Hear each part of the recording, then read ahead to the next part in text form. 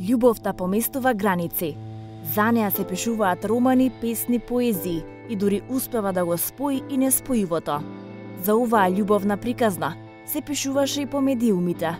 Тој е голман на најдобриот македонски клуб Вардар, додека таа несудена манекенка сега е ТВ презентерка. Доза љубов со Филип Гачевски и Деспина Царава. Се запознавме пред 4 години. Тој во тоа време играше во фудбалскиот клуб Брегалница во Штип. Јас работев во една регионална телевизија. Морам да признаам дека најпрвен го видов на една фотографија на Facebook, веднаш ми се допадна. Отидов на утакмица каде што играше Брегалница, а, му направи флажно интервју и на тој начин стапивме во контакт. Ајде, знам дека сигурно ги интересира, ти си најверојатно махра во се тоа, како изгледа тоа лажно интервју? Па јас мене спортот не ме интересира, не сум знаела ништо да го прашам, само знам дека со колегата се симнавме доле на на теренот после утакмицата, му поставив неколку прашања, потоа тој ме побара на Facebook, а, да се најдеме, да видиме што и како со материјалот. Јас му кажав нема материјал, материјалот не знам како е избришен. И потоа излеговме на вечера и така продолжи. Нека се добра. Филип, успеа ли ова финта, да кажеме, од Деспин? Па да ти кажам искрено, успееше. Успеле. Со што те освои? Со што ме усвои? На прв поглед се залюби. Филип Гачевски важи за атрактивен дечко по кој лудуваа девојките, но покрај успешно градење кариера, колку е потребно да има убава девојка до себе. Па да вам кажам искрено, потребно е. Мене, на пример, лично Деспина, многу ми е помагнала во моја кариера, затоа што е женска што ме е, сваке каква работа ме чека. И плюс, јас сум голман што треба да бидем највеќе сконцентриран од сите играчи на терен и Деспина ми е тотална подршка, барам до сега и одлично функционираме. Дали присуствува на сите напревари? Да, да, да. Како се носи Филип со обожавателките? Лесно. Сега, па да вам кажам искрено, се борили, се борили Деспина? боре се исто и она. Деспина? Да, јас ќе кажам.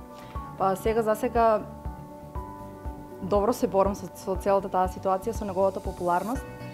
А, ќе откриеме на работа, значи, тој има многу обожавателки. Но чудно е што не му пишуваат на Messenger, не му пишуваат, пример, ете Инстаграм нема, меѓутоа на Facebook би му пишале, а му наоѓаат број и му пишуваат на Viber. Му праќаат фотографии, да, му праќаат експлицитни фотографии и еве сега ќе кажеме на ексклузива има многу познати личности. А, На вистина без откри. паника, Значи нема да ги откриам кои се, меѓутоа доколку би ги открила би имале многу работа. Дали станува збор за пејачки? Има и пејачки, да. 25 годишната Деспина Царава се чини е вистинска инспекторка, но години наназад се занимавала со манекенството, каде во 2013 излезе како победничка на изборот Мис Бикини, но потоа патот ја одвел кон водителските води. Причината мислам дека сите ја знаат, модата во Македонија на која ниво е. И сметам дека не треба да си огубам времето на таа работа, па ќе видиме понатаму. Јас сум дипломиран правник. Завршив право при Универзитетот Гоце Делчев во Штип. Минатата година положив и правосуден испит. Ми преостанува уште одбрана на магистерски труд и тоа на тема кривично правни аспекти на насилството на стадионите. Ете и така. темата е поврзана со него. А, така што се надам на добра работа. Дали е вистина дека Филип има влијание врз твојата одлука веќе да не работиш со моделство? Не, апсолутно не. Вториот договор на Филип Гачевски со Вардар завршува наредната година. Какви се плановите на македонскиот голман? Сега ми е четврта сезона во Вардар и морам да кажам за тај клуб се нај-нај, затоа што секој фудбалер сака да игра за Вардар и нормално Вардар е најголем клуб во Македонија и многу сум среќен што сум тука. Двајцата во чекор градење на успешна кариера. Колку што се различни, само љубовта може да ги сплоти.